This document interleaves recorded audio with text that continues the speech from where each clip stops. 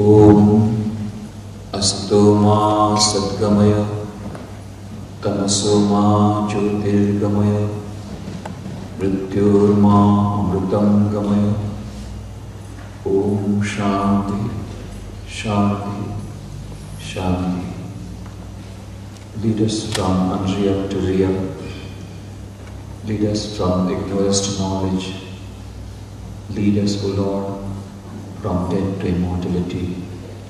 Om peace, peace, peace. Dear Swami Shardananji, the members of Ramakrishna Center of South Africa as well as the center here in Lady Smith, the dignitaries present here, sisters and brothers, dear friends. I'm very happy to be here this afternoon. I've been a, for a tour of South Africa, as you know. I came here about a week back, uh, and now, day after tomorrow, I'm going back to India after visiting Mauritius for a couple of days. The days have gone so quickly. A few days back, I was preparing for coming to South Africa, and it's a, now is the time for preparing myself to leave South Africa. but it was a very good, pleasant experience to meet all the people, very nice devotees here in South Africa, and uh, very nice people. A great revolution coming in the country of South Africa after the new regime. A lot of changes are taking place, and very enlightened audience here. I'm very happy to meet you all in this town of Lady Smith. When first I read the name, I thought it is the name of a person. Maybe she may be the chief guest inaugurating the function. But later on I heard, no, that is the name of the city, Lady Smith. Today's subject, as you know, management of everyday life. The most important thing that we have to bear in mind is the name management. Somehow or the other, from last few years, it has become a sort of a misnomer. Management has come to mean, for all of us, more or less, business management. Whenever we talk of management, we say business management. But actually speaking, management is a very broad based term. It affects every aspect of life, not only the business. That is why in the latest book of Peter Drucker, the latest book is the best of Peter Drucker, he points out that from last 60 years we have been misusing this name management. When it started, management meant a very broad term, an organized common sense, the science of working in any aspect of life which would give us the best of output with the minimum of input and resources in the best possible manner, with the best quality, in the minimum possible time. But over a period of years, somehow, management has come to mean business management, which is not true. Just as orthopedics is not medicine, it is only a branch of medicine. So number one, we have to remember management is a very broad-based term which affects every aspect of life. And every one of us, whether we are in the corporate world, whether we are in the, we are the professional world, whether we are working in the office, whether we are teachers, whether we are students, whether housewives, each and every human being has to learn the management of everyday life because it affects every aspect of our life. And there are various spheres in which this management wisdom can be applied. The fifth M is becoming very important in the field of management.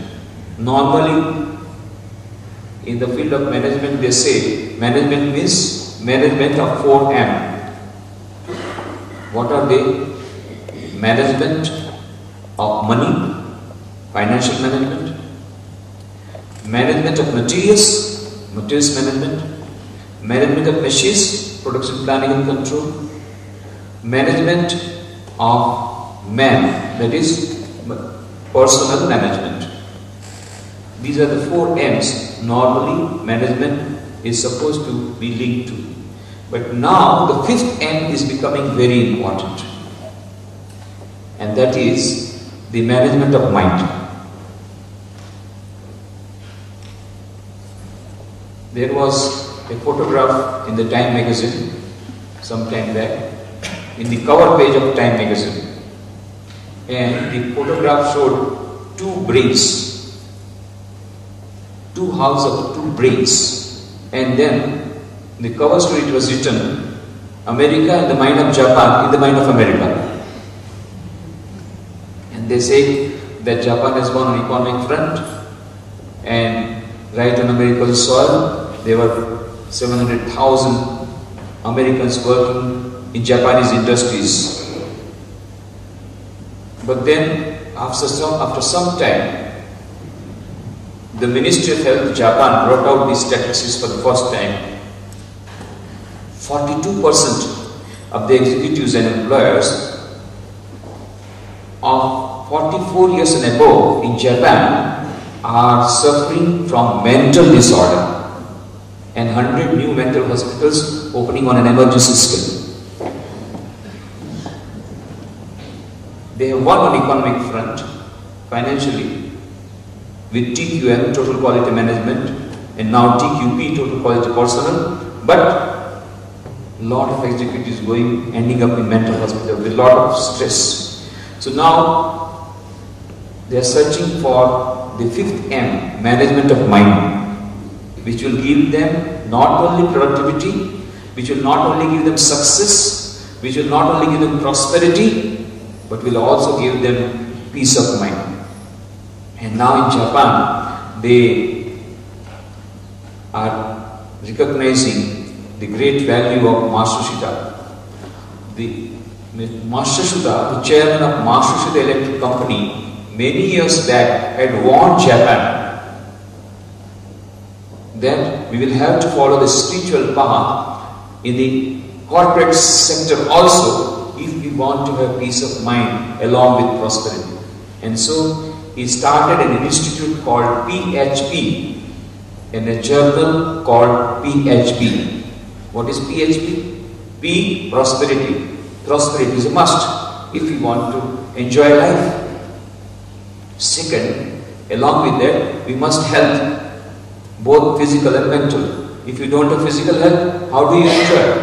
You have a lot of funds, but the doctor says you can't take food excepting tranquilizers and antibiotics and injections. What is the use of a lot of funds? Or we may have the best model car, but the doctor says no, you have heart problem, you can't ride a car. In mental hospital, if you have a mental problem, you are in a mental hospital, of what use is your great bank deposit in the Swiss bank? So, health, physical and mental. And third, P, peace of mind. That is the most important thing. Peace of mind. Without peace of mind, all this will be of no avail. So PHP, he started an institute called PHP and a journal called PHP, Matsushita, and he wrote a book, the name of the book, Not for Bread Alone. That is the sentence from Bible. A man cannot live by bread alone. Man cannot live without bread, that is true. But man cannot live by bread alone. A dog can live by bread alone. A donkey can live by bread alone. But a human being cannot live by bread alone. He needs little butter also along with bread. And not only butter, he also wants clothes and he wants to have a house. Not only that, he wants something else, that is peace of mind, which is a very rare commodity nowadays. And so, this wisdom is dawning, and the fifth M is becoming important. According to Chicago-based Research Corporation, 40 percent of the companies in America are having regular courses on stress management. Stress management is becoming very important for true, even for true success and fulfillment of life. Another thing that is coming, the fourth wave of management is slowly sweeping the world. The first wave in the field of management was the British style of management when work study, work measurement, Taylor's was work measurement were involved. Second was the wave of American style of management when Peter Drucker became the guru. Third wave was Japanese style of management when TQM, Total Quality Management, zero defect, and the extreme productivity coupled with the extreme efficiency and perfection became the demand of the hour. And now, slowly, the fourth wave has started coming to the world, and that is holistic style of management based on Vedanta philosophy, based on Indian philosophy, a spiritual based management is coming. And various books are coming out, new books are coming out, where they now regard that spirituality is at the core of management of anything, whether it's a corporate sector, whether it's at home, whether it's the management of an educational institution, or whether it's management of life. This fourth wave is slowly coming up. The name of some of the books are God is my CEO. That is the name of the book. God is my CEO, Chief Executive Officer. God is my CEO. And in America, Richard Barrett is becoming very popular management consultant. He is a management consultant based on spiritual type of management. He has written a book, Liberating the Corporate Self. And he, he has started as a business, as an advisor based on spirituality. And who are the clients? Swiss, develop, Swiss government, World Bank, they are the clients. In Japan, Buddhist style of management, there are the big signboards, Buddhist style of management will be given here.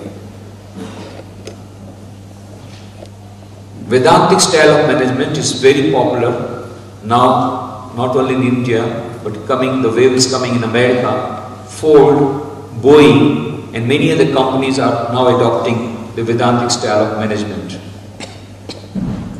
The holistic style of management is coming into war. And that is why Amar Thiessen, the management consultant of Amsterdam, Netherlands, very nicely puts it.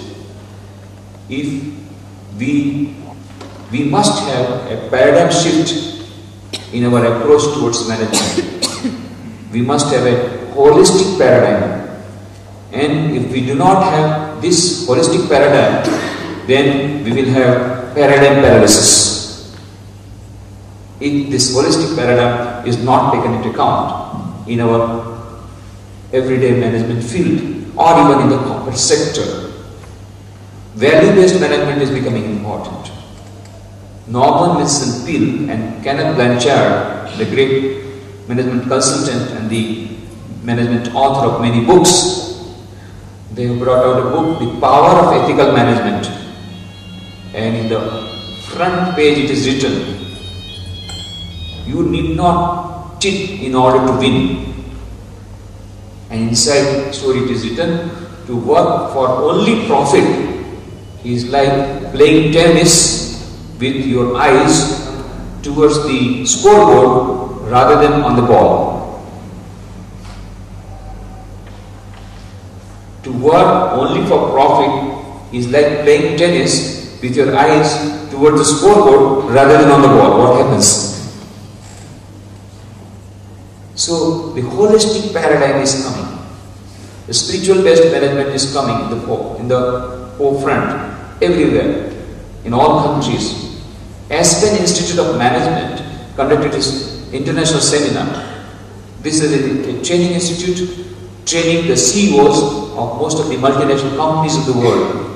They had an international seminar in which very important CEOs of most of the companies of the world were present. They were shown Attenborough's film of Mahatma Gandhi. And after the discussion, they found out 40 great qualities in the life of Mahatma Gandhi which could become a teaching model for most of the executives and managers. Servant leadership is a new word that is coined. Robert Greenleaf, as you know, he has found out that new concept of servant leadership. He has written a book on servant leadership and it is becoming a popular concept. But this servant leadership was being practiced by many eminent personalities in India much, much earlier. Of course, the first one was Sri Krishna, becoming a charioteer, a servant of Arjuna, though he was a kingmaker. In our own times, Swami Vivekananda practiced it. He started Ramakrishna Mission in 1897 after returning from the America and Western countries to India for worshipping of the divine in human beings, various service activities. He started Ramakrishna Mission in 1897. But he gave the name of the organization as Ramakrishna Mission. It was not on his own name. Not only that, he did not take any power and position. He said, I am just a servant of my brother disciples. Whatever money he could collect from America, he gave, handed it over to his brother disciple Swami, uh, Swami and made Swami Brahmananda the first president of Ramakrishna Mission. He himself did not take any power position. He practiced servant leadership. Mahatma Gandhi, he also practiced the servant leadership. Dr. APJ Abdul Kalam, the President of India, came to Porbandar. As you know, I am from Porbandar, the birthplace of Mahatma Gandhi. He came to Porbandar to inaugurate one of the school buildings constructed by us as part of earthquake rehabilitation project.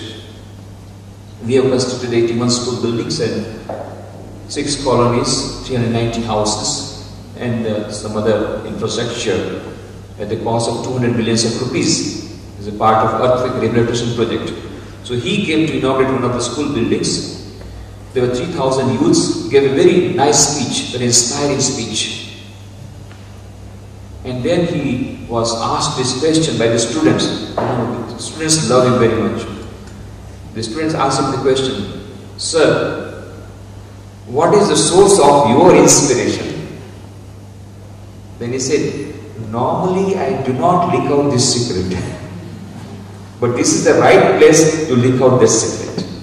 Then he said, I was a student of 8th standard and I was the monitor of my school.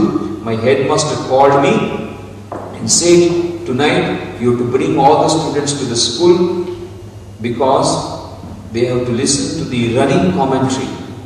14th August 1947, India shall become independent, midnight, and you have to listen to the running commentary. So he said, I brought all the children to the school, we listened to the running commentary, Pandit Jawaharlal Nehru, the first Prime Minister of India, hoisting the Indian flag and the British flag going down. We became very happy.